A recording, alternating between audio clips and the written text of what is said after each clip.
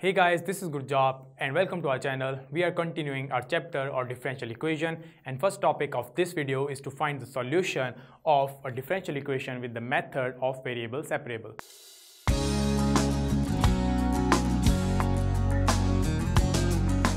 तो variable separable में क्या होता है suppose we have a differential equation D by by D X is equal to H of Y G of X तो differential equation है।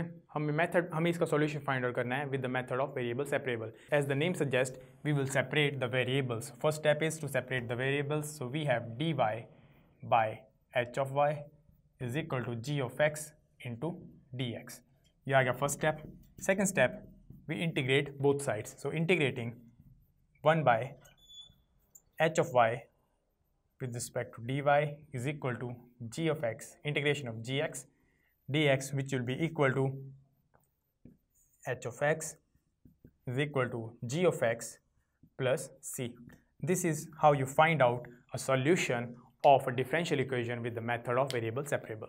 Now let's look at some examples. So the first example is we have a differential equation dy by dx is equal to 1 plus y square divided by 1 plus x square. First step separating the variables. We get dy upon 1 plus y square is equal to 1 by x square 1 by 1 plus x square into dx. So integrating both sides we get integral 1 upon 1 plus y square dy is equal to integral 1 upon 1 plus x square dx. Now integral of 1 upon 1 plus a square or y square is equal to tangent inverse y. So we get tangent inverse y is equal to यहाँ पे tangent inverse x plus c and hence the result.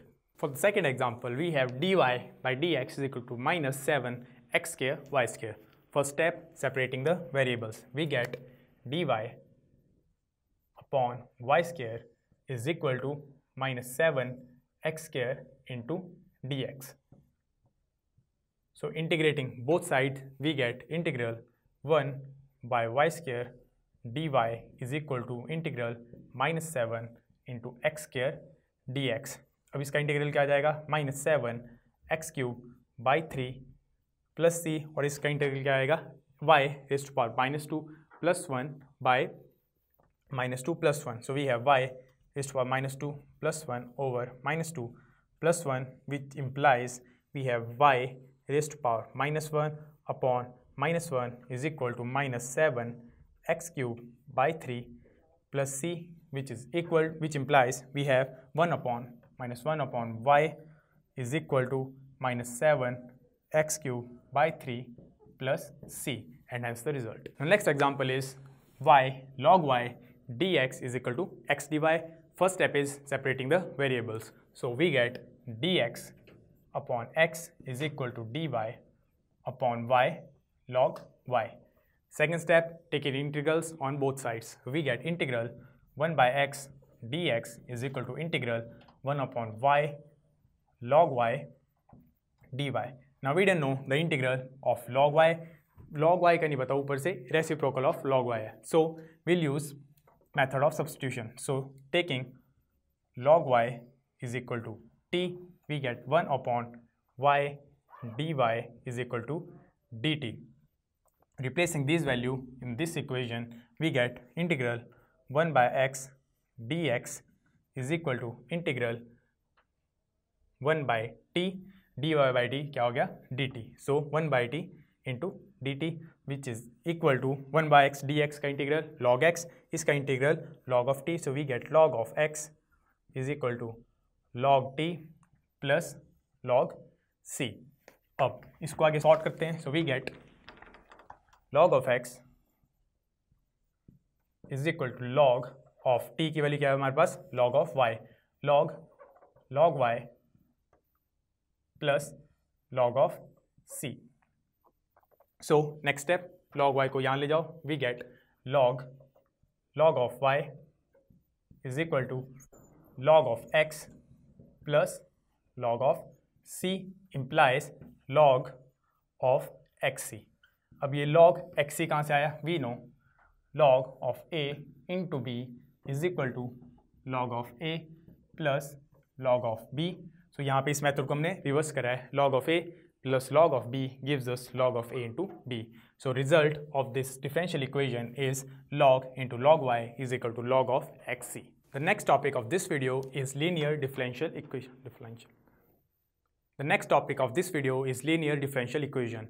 A differential equation of the form dy by dx plus py is equal to q where p and q are constants of x is called a linear differential equation of first order. For example, dy by dx plus 2y is equal to sine x.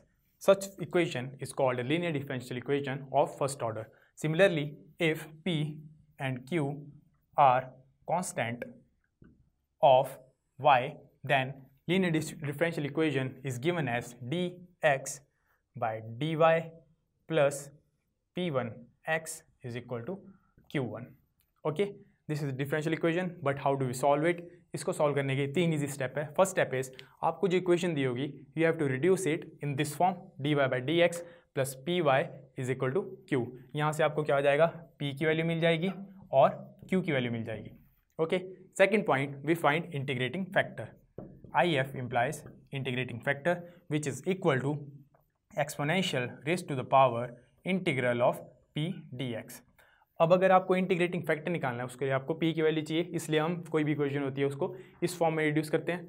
ठीक है? अब integrating factor आ गया। Third step is to find the general solution of this equation जो कि होता है equal to Y into integrating factor is equal to integral of q into integrating factor dx plus ck equal. Okay, now we know what linear differential equation are, how to solve them, how to get a general equation of such cases.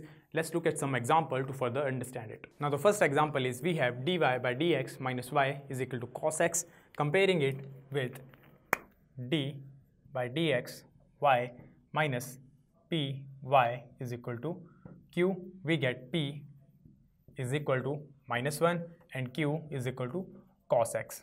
ठीक है? P की value आ गई। Next point integrating factor so I F is equal to exponential raised to power minus one D X which is equal to exponential minus X I F की value आ गई हमारे पास। पी और Q की value है। So solution of this equation will be equal to Y into integrating factor is equal to integral of q into integrating factor dx which is equal to y into exponential minus x is equal to integral of q is equal to cos x and integral factor is exponential minus x. So, we have cos x into exponential minus x dx. Let's say this is equal to i. So, i is equal to this is first function, this is second function. So, cos x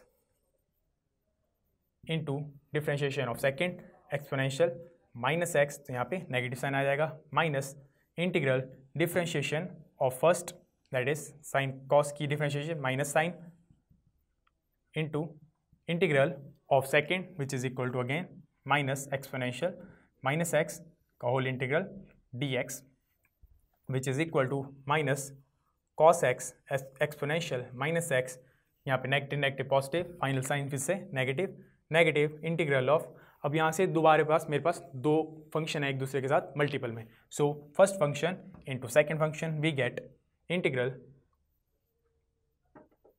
that is first function sine X into integral of second minus exponential minus X minus integral of differentiation of first that is minus cos X into integral of second फिर से exponential minus x का whole integral D X now minus minus positive minus minus positive बाहर आ गया we get minus cos x exponential minus x negative of negative negative positive plus sin x exponential minus x negative of integral cos x exponential integral cos x into exponential minus x dx आई को हमने क्या suppose करा था? I is equal to cos X exponential minus X तो यहाँ पे हम इस टर्म को किससे रिप्लेस कर देंगे? आई से. So in this case we get I यहाँ पे I is equal to I was equal to this I is equal to यहाँ पे फाइनल में हमारे पास क्या आ गया? Minus cos X exponential minus X plus sine X exponential minus X minus I this is equal to I इस आई को इस तरफ़ ले जाओ. Two I is equal to minus cos X exponential minus X plus sine X exponential minus x and i is equal to minus cos x exponential minus x plus sin x exponential minus x divided by 2 ये आ गया हमारे पास i की value and we know starting में हमने क्या लिया था that y into integrating factor that is y into exponential minus x is equal to this factor which is equal to i. So y into exponential minus X is equal to minus cos X plus sine X into exponential minus X divided by two so Y की value यहाँ से क्या आ जाएगी? Y is equal to sine X minus cos X by two exponential minus X divided by exponential minus X और यहाँ पे क्या था हमारे पास plus C constant of integration divided by exponential minus X इस एक्सपोनेंशियल से ये exponential cancel so final result we have Y is equal to sine X minus cos X divided by two plus exponential into c. Next example is we have x into dy by dx plus 2y is equal to x here. We have to reduce it in the form of linear differential equation. The first step, dividing every term by x, we get dy by dx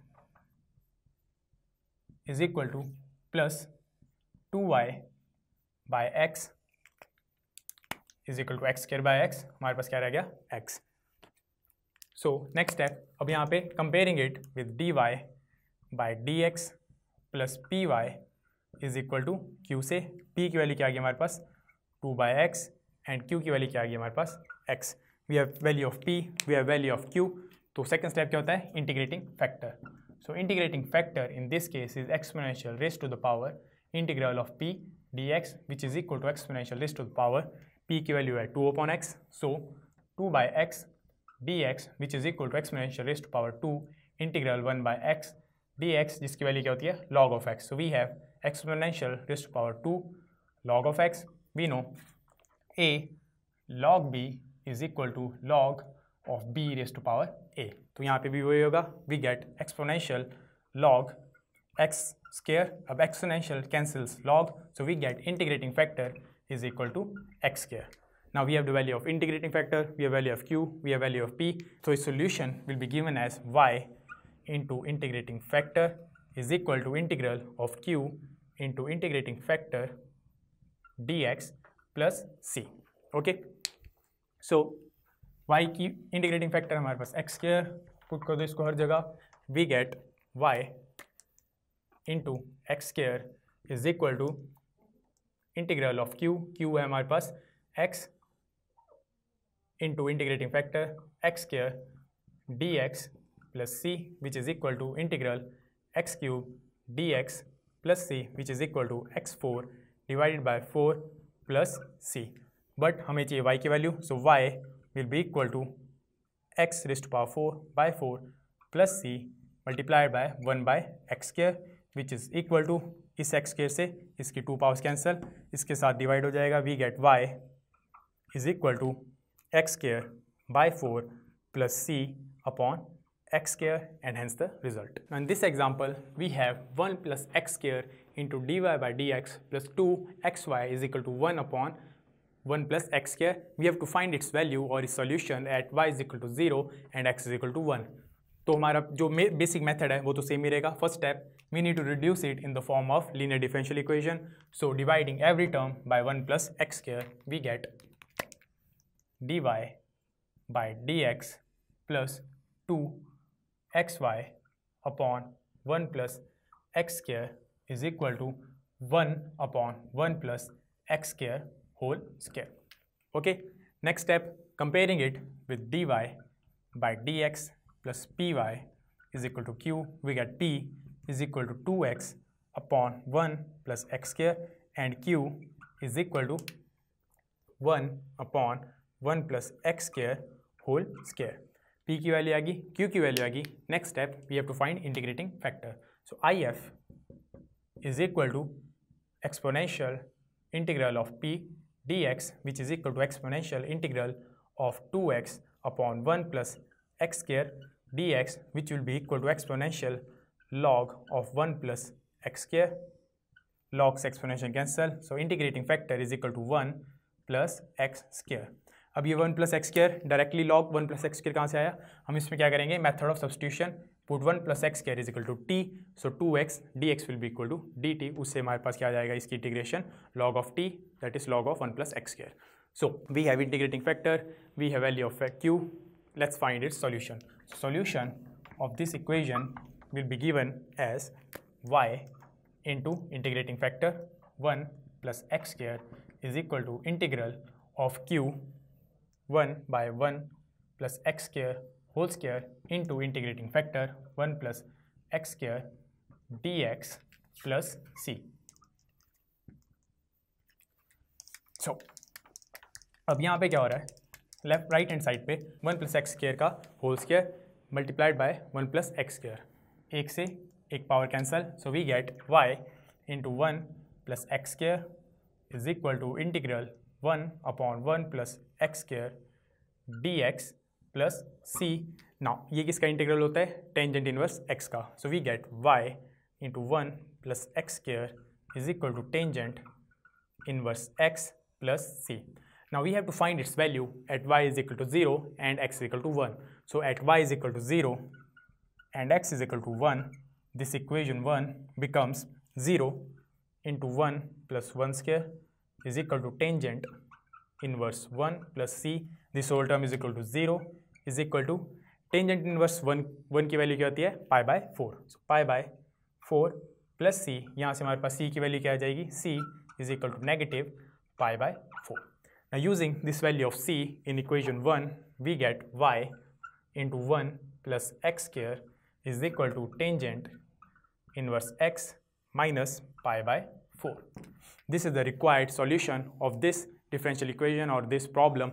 Now, important point, agar solution may we know the value of c, the value of constant of integration and using that value in the solution, in general solution, the required solution becomes particular solution. So guys, this was it for today. If you have any problems or doubt regarding the chapter of differential equation, you can roam around in the comment section and leave down a comment. We will try and get back to you. Until next time, keep practicing.